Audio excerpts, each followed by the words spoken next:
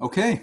Um, thank you, Tanji, for the introduction. And uh, let me start by saying thank you to Tanji and Monica for pushing this conference forward in light of a pandemic. Um, and thank you to the Fields Institute and to uh, Sarah Pinder for working behind the scenes to help make this happen. This is um, the first time in my life that I'm giving a conference presentation while sitting down. so, new experiences for everyone. um, I, I, will also point out that uh, I didn't think about this when I agreed to give a talk on Thursday. Today is garbage day, and it's quite likely the garbage truck is going to drive by my house during the middle of this talk. And so we might get some loud uh, um, truck sounds going on in the background, which will keep things fun. Uh, so today I'm going to talk about portfolio optimization um, and a not new approach, but some new results about an old approach. Um, and these new results are coming from, from applying some new tricks to the old approach. It's joint work with uh, Dr. John Braun, who's a statistician, his PhD student, Dongying Wang, who helped with some of the uh, statistical analysis near the end, and our postdoc, Dr. Jagdeep Brar. Um, one of the great things about uh, moving this conference to online is Jagdeep was now able to join us, and I can see her on the attendees list, so she's here right now. She has really done uh, most of the heavy lifting in this talk, so it's great that she's here to to watch it and answer any questions that I can't. um, okay. Oh, there we go. Okay. So uh, I'll start with a quick overview of portfolio optimization. But what I really want to get to is a ratio-based method. So most portfolios, you're going to optimize maximizing returns and minimizing risk or vice versa. Uh, ratio-based methods are going to switch that to looking at returns divided by risk to try and get some balance all in one problem. I'm going to show you some modeling tricks comes to linear programming and some tricks that actually date back to the 60s that are going to allow us to rewrite the problem in a method that we can solve extremely efficiently. And that's where the experiments will come in is showing you that that indeed works. So you'll notice that uh, nowhere in this talk do I say Nash equilibrium. So I guess I should apologize from that. That seems to be a common word in most talks. But I think that you will see there's a lot of optimization and variational analysis in here. So hopefully it's still of interest to most of you. Let's start with some classical approaches. So for those of you who have never done any sort of math finance before, a portfolio is a collection of assets, investments. And the idea is, I'm going to talk about stock markets mostly because it just, it's easy to, to talk about. You've got hundreds of different stocks that you can choose from. You've got a set amount of money and you want to know how much money you should put into each potential stock. If you put all the money into one stock, then what happens is if that stock goes up, you make a lot of money. If that stock goes down, you lose a lot of money. So you have a very high risk, but a potentially high profit. If you spread your money out more evenly, then your risk goes down because if one stock goes up, another one might go down or if one goes down, another one might go up. Your overall profit is probably going to be less, but you have a much lower chance of losing money.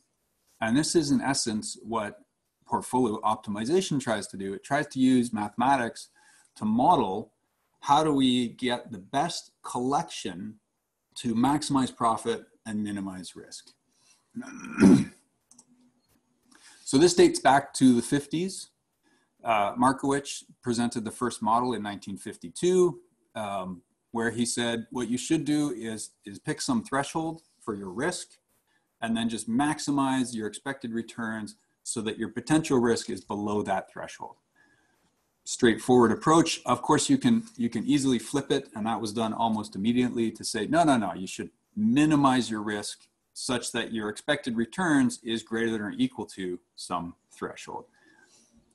The one of the current standards is to just pick lots and lots and lots of different thresholds giving you a whole bunch of different options. Every time you solve this problem with a different threshold, you'll get a different portfolio.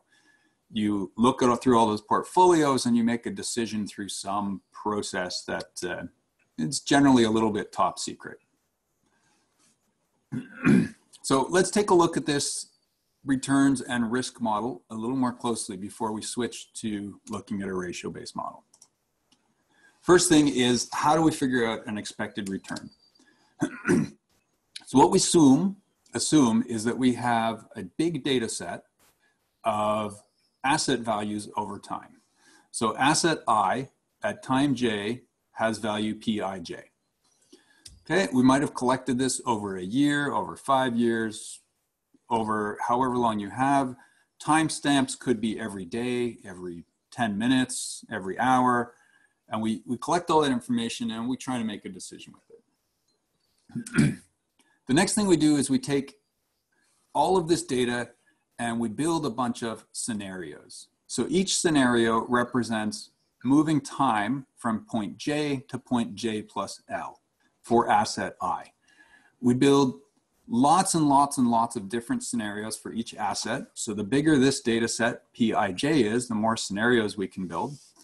And taking all of those scenarios, we can build returns. So the returns in scenario K for asset I is just your closing price minus your opening price.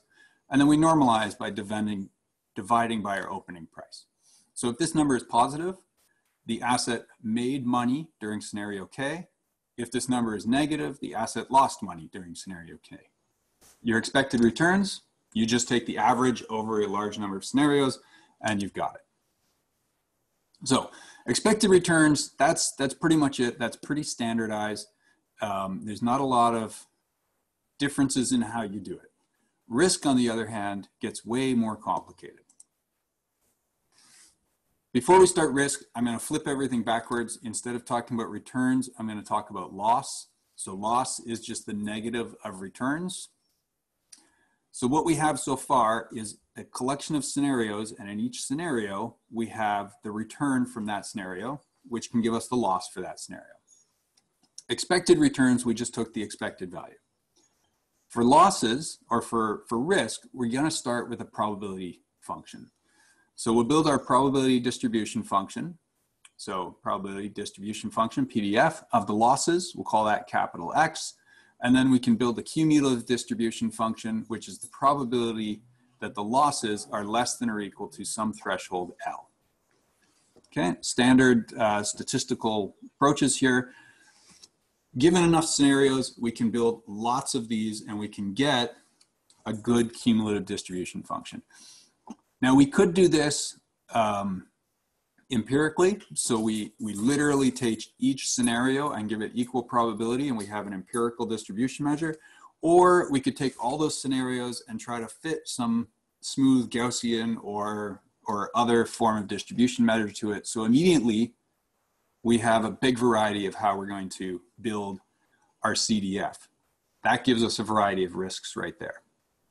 But once we've built this, we actually have decisions. What are we going to do? Is risk the probability that the loss is less than some threshold? Or perhaps we look at the expected value of the losses. Or we look at the expected probable loss at some threshold. Or we, and you can daydream up all sorts of different ways to define risk out of this cumulative distribution function. So over the last 70 years, people have been researching this. Um, and I think there's at least a dozen different types of risk measures. I'm sure there's many, many more. There's a dozen that are reasonably popular in the literature, um, which makes it hard to decide which to pick. And this is a lot of the, the art in how to actually do your portfolio. I'm going to talk about two of them today. Um, one that is probably the most popular in the literature at the moment. And then the next one is an advancement on that that is gaining traction quickly. So probably the most popular measure of risk used in the literature right now is what's called value at risk. So you're, you select a threshold alpha And alpha is going to represent uh, probability, so it needs to be between zero and one. And then you look at the probability, sorry, you look for the minimum L so that the probability that your losses are less than or equal to L is greater than or equal to alpha. So if alpha is set at 5%, 0.05, we're looking for the smallest L such that the probability you lose more than five, more than that money is less than 5%, is greater than five percent. Well, effectively is five percent because this less than or equal, greater than or equal to would become inequality. So whew, let's try and say that again. Once we've worked out this value at risk, what it means is the probability with one minus alpha, the loss will be no more than this value. So if alpha is 5%, your value of risk gives you a number, there's a 95% chance that you will lose no more than that number. Okay, so you can see why that's a nice way to think about risk. Uh, a bank says, okay, I want my value at risk to be 1%. And then you go back and say, okay, there's a 99% chance you will lose no more than this much money if you invest the portfolio in this manner. So this is extremely common. Um, the drawback of this is it ignores the distribution of values beyond that threshold, that one minus alpha. So it might say, okay, there's, there's only a 1% chance that you lose more than this much money, but does that mean you're gonna lose that much money? Or are you gonna lose something much, much, much bigger than that? You need to know that distribution and a, I think a good value at risk, a good risk measure should contain that distribution. So that's captured in the next one. This is called the conditional value at risk. One of the reasons I had to introduce value at risk is it's right here in conditional value at risk. So same setup as before. Now you pick that threshold alpha and the conditional value at risk gives you the expected value of everything past that value at risk threshold. So what this means is that if you give me a, a number alpha the conditional value at risk is the expected value of how much you will lose in the worst alpha portions of the outcome. So you say value or my, my threshold is 5%, conditional value at risk says the expected value in the worst 5% of scenarios is this much. So you can see again, that's a very nice value at risk in terms of a bank, what they might think and what they might want to use. Um, it's less common because this looks more complicated, but it is gaining traction in the literature and becoming more popular. And what we're going to see today is that using this gives us some very nice benefits when looking at ratio-based models. onto ratio-based models. So remember our two basic models for building a portfolio are maximize expected returns such that risk is below some threshold or minimize risk such that returns are above some threshold. The other way you could do it is you could just say maximize the expected returns divided by the potential risk. So the, the advantage here is there's no longer a need for a threshold. This is one problem and one problem only, and it gives you a balanced portfolio in terms of returns and risk. The disadvantage that's been pointed out most of the times is this is not a linear program. I've got a division here. Divisions are harder to optimize. What we're gonna see today is that if this bottom part, this potential risk is measured in conditional value at risk, we can take this and remodel it as a linear program. Um, like, uh, like our last speaker, we don't, I don't have time for a full literature review, but let me hit a few of the highlights. So this optimization of ratios idea is not new. It dates back to the 60s. In the 60s, this was presented as a, a theoretical model. No discussion on how to actually solve it. Uh, in the early 2000s, uh, Gregorio and Dugnay used value at risk and use the Monte Carlo simulation to actually solve it. So at this point, computers had gotten powerful enough that you could just throw hardware at it and, and get a solution. But of course, it's very slow. 19, 2019, so just last year, uh, Sehgal and Mehra used conditional value at risk, and they uh, they used a custom bundle method, a proximal bundle method. So there's another link to the last paper to solve this, and it was slow. However, I want to point out slow in this context means 10 to 15 seconds. So fairly reasonable, but banks are kind of pushing towards they want real-time solutions so they can optimize their portfolios anytime they want with no delay.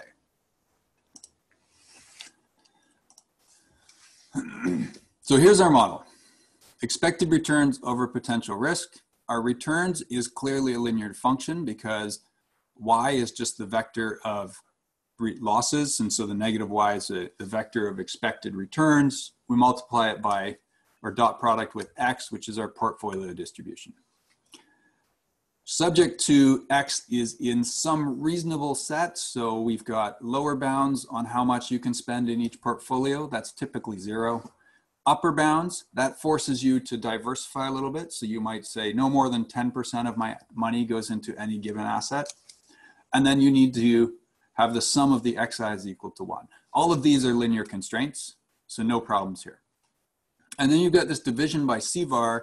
That's the part that uh, turns this and makes it a nonlinear program. So the next step we're gonna do is we're gonna take this CVAR and we're gonna pull up a formula that was developed by Rockafellar and Uryasev back in 2000.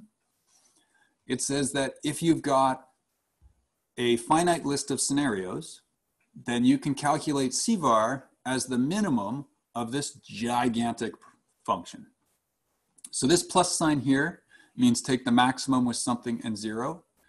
That looks nonlinear at a glance, but as we all know, that's just the maximum of two linear functions. So you can turn that into a linear function using a constraint.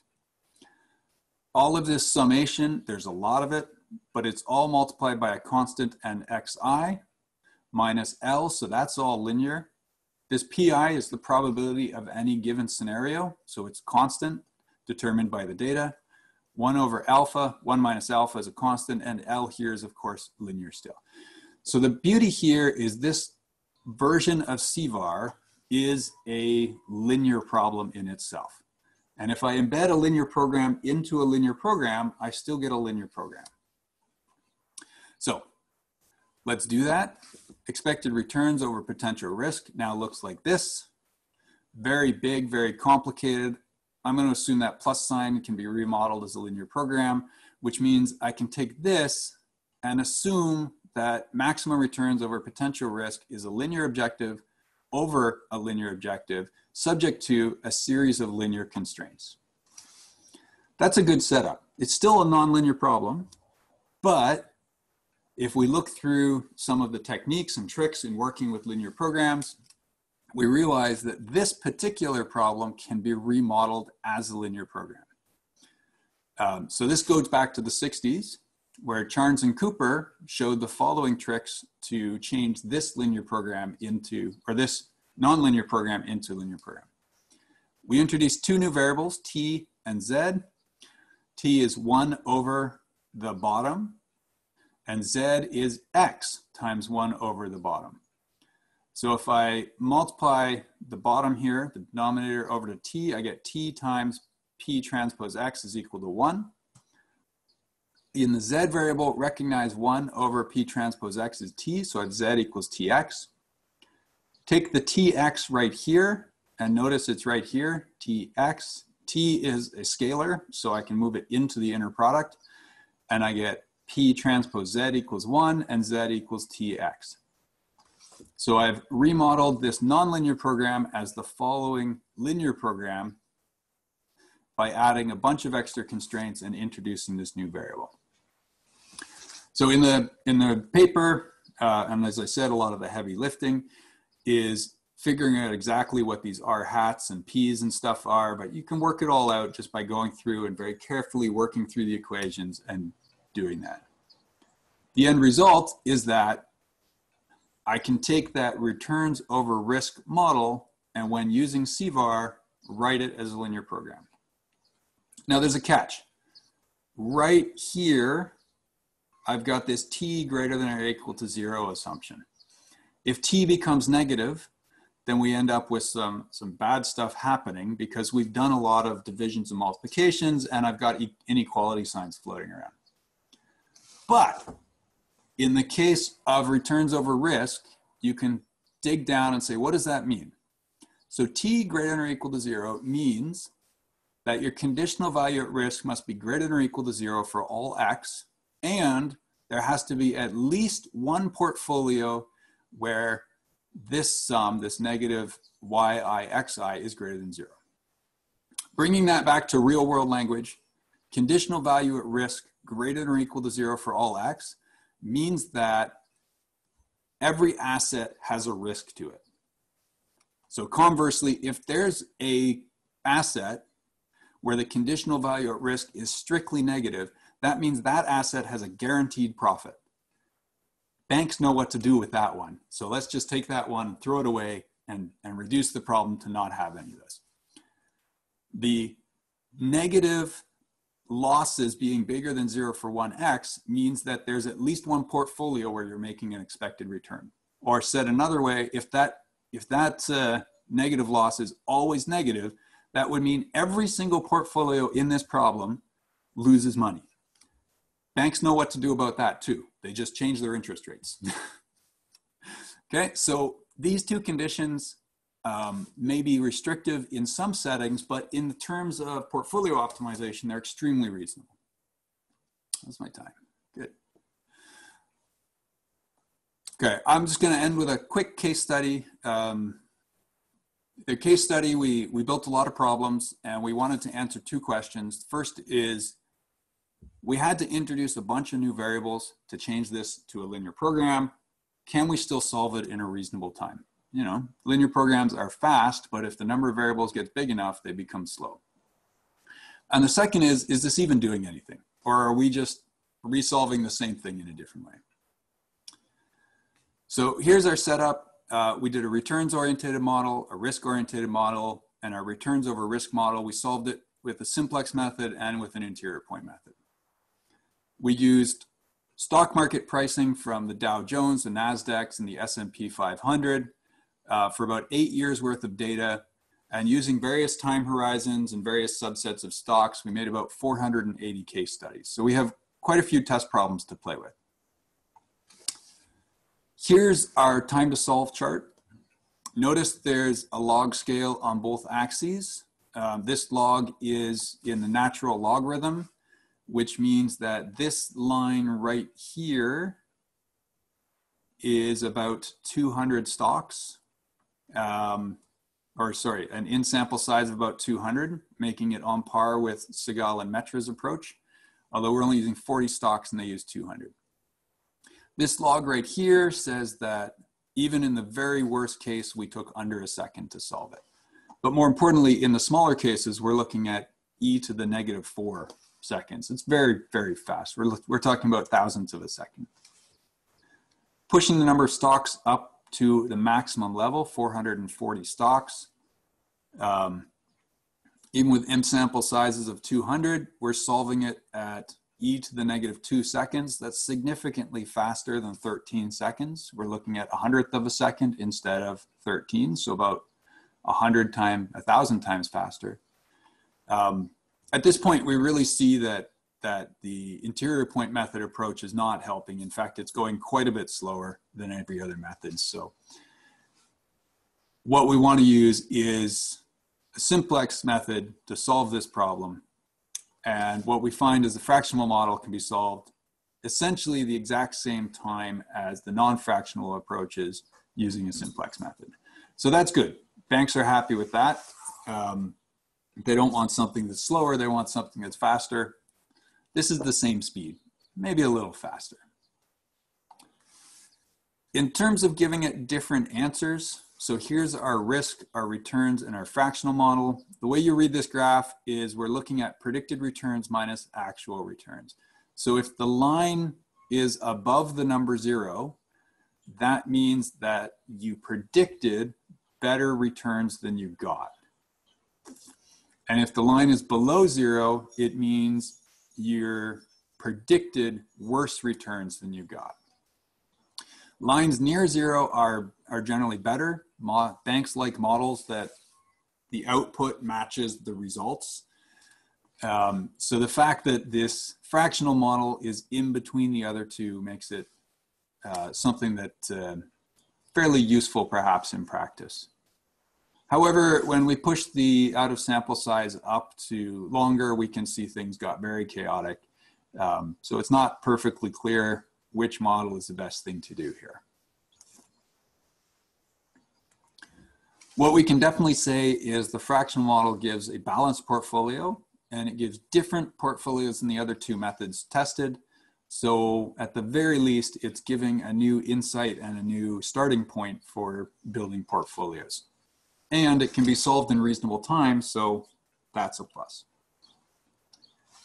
And I think I'm gonna finish just about on time. So I hope what you gathered from this, I know it was a very quick talk and, and I hope it sunk in a little bit, is uh, portfolios can be created by optimization. There are three competing techniques, returns-based, risk-based, ratio-based. Uh, through remodeling, we've shown that the ratio-based, if you're using conditional value at risk as the denominator, as opposed to other values at risk, can be remodeled as an LP and therefore solved efficiently. And, and so now is actually a reasonable approach to working on such problems. And that uh, is my talk for today. Thank you for